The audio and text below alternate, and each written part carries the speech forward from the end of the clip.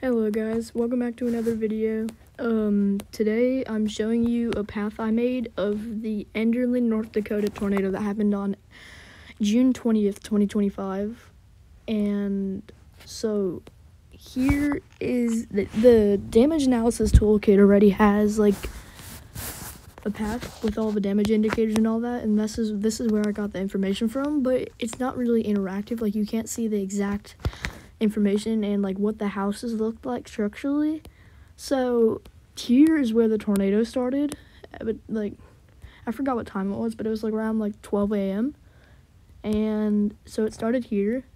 It just caused EF0 damage to a tree, a hardwood tree, somewhere around this area right here.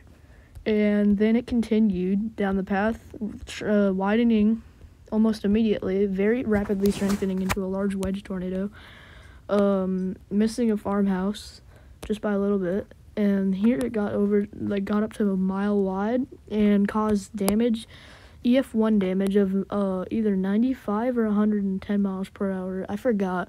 Uh, yeah, hold on. Yeah, it was 95. Uh, here, I'll add that to the notes in a second but EF 195 mile per hour damage to a metal building system. And then after that, it came up to these train tracks where a Procar P-Rox train came here and uh, it got thrown 300 feet. In June 1st on Twitter, Ethan Variety, uh, he did a calculation and it requires 200, it's just a rough uh, calculation, like an estimate, but it's still a calculation. Even unloaded, the trains were proven to be unloaded. It would take at least 264 mile per hour winds to throw it that far, and it it only had like two drag marks. It wasn't rolled. It was actually like lofted. And then at this point, it reached peak width of 1.1 miles wide, and then continued to um, produce damage to some more hardwood trees, causing uh, EF3 143 mile per hour winds damage under the EF scale. And then it came up on a uh, metal pole or um, power line system, causing 133 mile per hour winds, uh, EF2 damage, and then more EF3 tree damage. We don't know the exact estimate yet. This is still kind of preliminary. I'll give y'all more updates.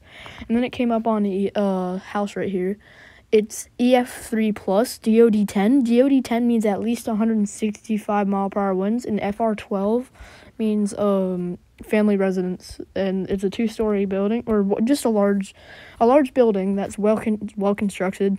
It doesn't have to be two stories, but anyway, um, it looks like they're probably gonna rate more areas like along here if they do a more in-depth rating, so we can get the actual like path, what the wind speeds were like without, I mean, not without, throughout the path.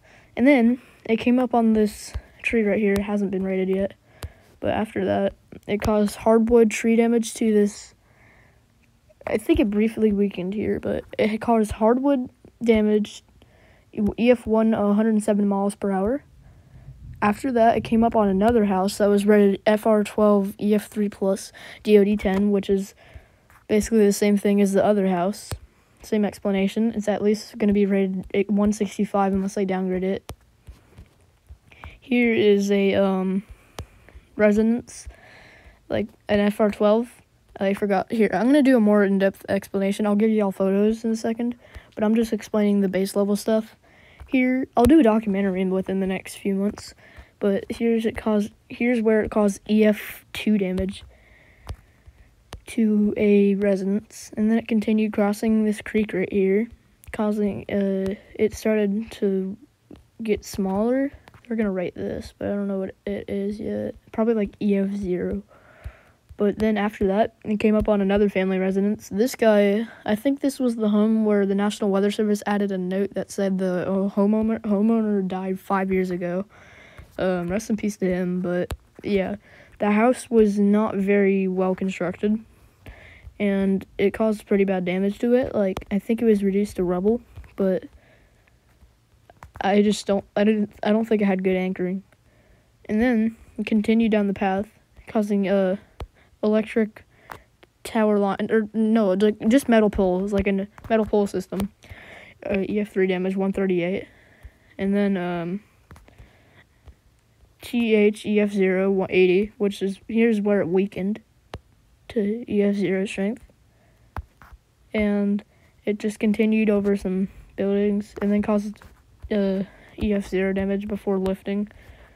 Um, I'll do a more in-depth analysis within the next few months, but here's just my map that I made.